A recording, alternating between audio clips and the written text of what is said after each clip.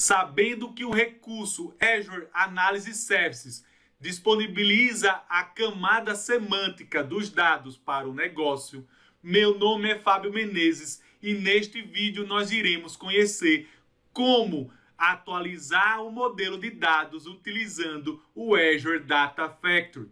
Espero que gostem. Não esqueçam de dar seu like e de se inscrever no nosso canal para valorizar o conteúdo. Também é importante utilizar os comentários para tirar suas dúvidas. Vamos lá!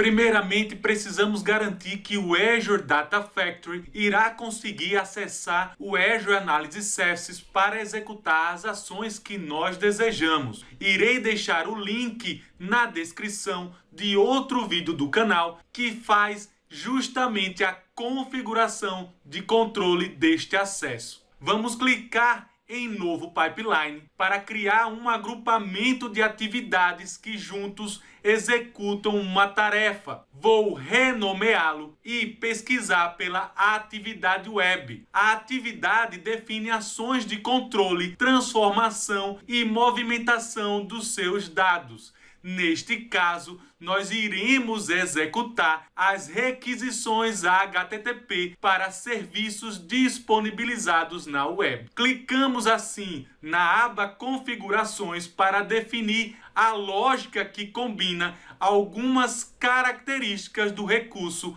Azure Analysis Services, como, por exemplo, o nome do servidor, o nome do modelo de dados, entre outros. Copiamos este caminho que nós geramos, mas antes de colarmos na configuração, iremos adicionar o conteúdo dinamicamente utilizando parâmetros clicamos em qualquer local vazio da área do pipeline e na aba Parâmetros clicamos em Novo. O primeiro receberá o nome do servidor do tipo de dados texto e seu valor padrão inicialmente será como null. O segundo receberá o nome do modelo de dados que, com o mesmo tipo de dados texto, receberá também o mesmo valor padrão. Portanto, clicando novamente na atividade e na aba configurações, utilizando a opção adicionar conteúdo dinâmico, colamos o caminho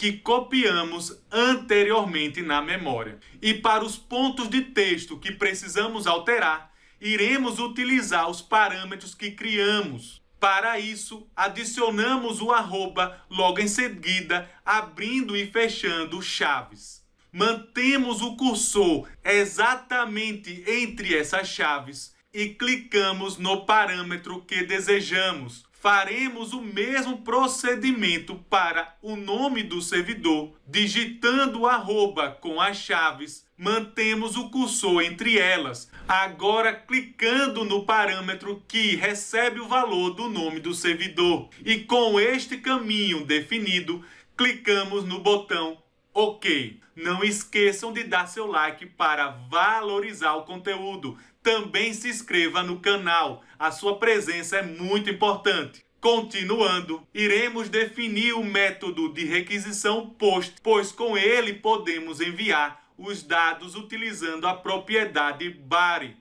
mas antes de defini-la, vamos configurar o tipo de autenticação para a opção MSI, Identidade Gerenciada atribuída ao sistema. Lembrando que configuramos em outro vídeo do canal e o link está na descrição deste vídeo aqui. Agora que definimos o caminho padrão para o recurso, precisamos fazer uma pequena alteração em nossa URL para definir dinamicamente a região em que o recurso Azure Analysis Services está disponível. Assim, se você utiliza a região sul do Brasil, não é necessário fazer este procedimento. Contudo, iremos utilizar uma região diferente, sendo importante a execução dessa etapa. E utilizando a forma como você já sabe executar, iremos adicionar um novo parâmetro e armazenar o nome da região. Clicando no conteúdo dinâmico, inserir este parâmetro no caminho da URL. Basta agora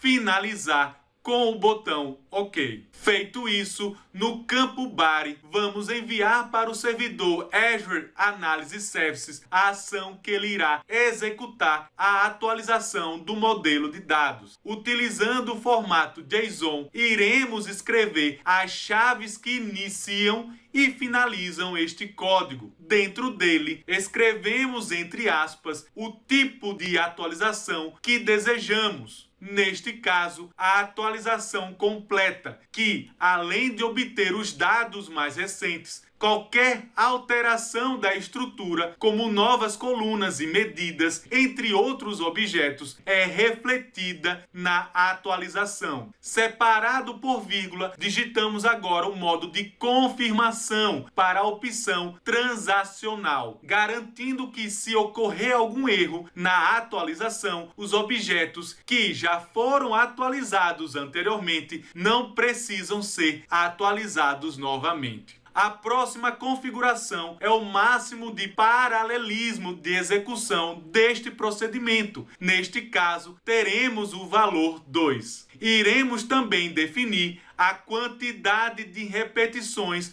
quando um erro ocorrer. E por último, definir os objetos que desejamos serem atualizados. Esta propriedade é definida como um array de objetos e, para atualização de todas as tabelas, basta mantê-la em branco. Agora, para preencher os valores dos nossos parâmetros, iremos no recurso Azure Analysis Services para copiar o nome da região, o nome do servidor e também o nome do modelo de dados. Lembrando que o procedimento de atualização pode ser executado manualmente utilizando este botão aqui.